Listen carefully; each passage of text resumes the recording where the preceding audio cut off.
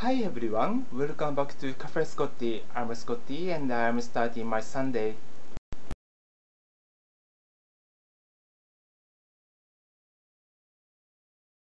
So I had some milk and coffee and I took shower and uh, just now I did my hair so I hope I look alright and uh, well I'm starting my day for real.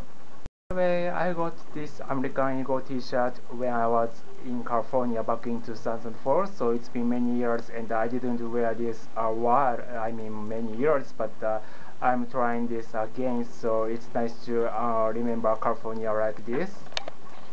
It looks like this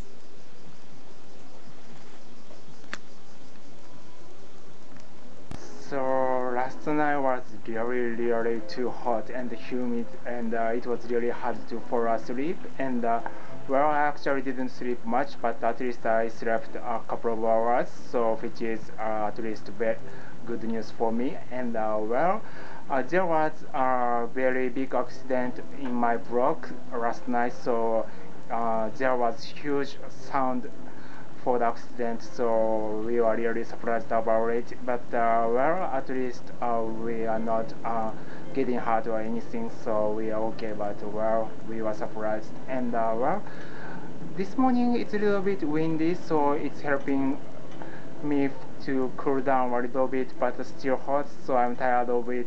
That's why I don't like summer you know.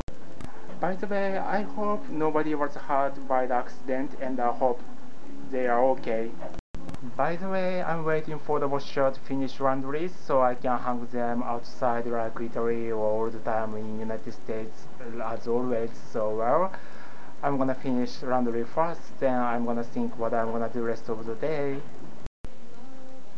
By the way, I got this cap in California back in 2004 too and uh, it's great way to remember the California. Uh, it's been many years but uh, well it's great memory. And uh, I know it looks a little bit dirty but uh, well it's white so nothing I can do to uh, make it look clear you know.